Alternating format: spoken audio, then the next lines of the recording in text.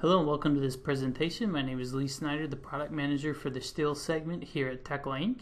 And what I'll be reviewing today is the new curved stanchions extension, which is available for download at the Tekla warehouse. And what this tool does is it automates the curved handrails for curved beams, uh, chamfered poly beams if they have a radius in there, and then also for the complex poly beam extension, uh, an example that you can see over here on the right hand side.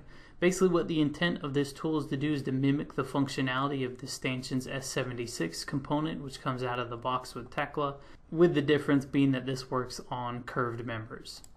So here once you install the extension what will happen is the tool will be placed in your component catalog under the plugins section where you can go in and access that. If I double click on this it will open up the dialog box here and it looks basically identical to the S76 component. So you can define your offsets here on the near and far side.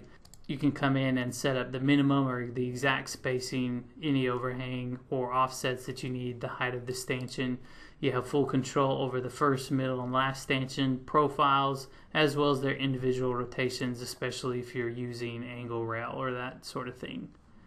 Then over here on the parameters tab, you also have the ability to come in and define specific connections that you want to use, just like you can in S76. And I've included some localized settings as well that you can try out, just give you different examples of what it will do. So what I can do is just come in here, activate this component, then follow the prompts located down here in the bottom left hand corner of my screen. I can just select any of the beams, it automatically gets all the radius information and that stuff. And then goes in and places in your stanchions just as you have defined through your settings. And then just like anything else, you can come in here, load different settings, modify, and then you can see the changes that are applied there throughout the model. One thing that's nice about this is that it allows you, for example, here I have multiple beams. So me just filter these out is that if the beams have the same radius, then what I can do is instead of just picking one member, I can just pick them all, hit the middle mouse button, and then it will go through and apply them throughout the whole thing using my uh, start and end offsets from the first and last beam that was selected. So pretty, pretty slick there.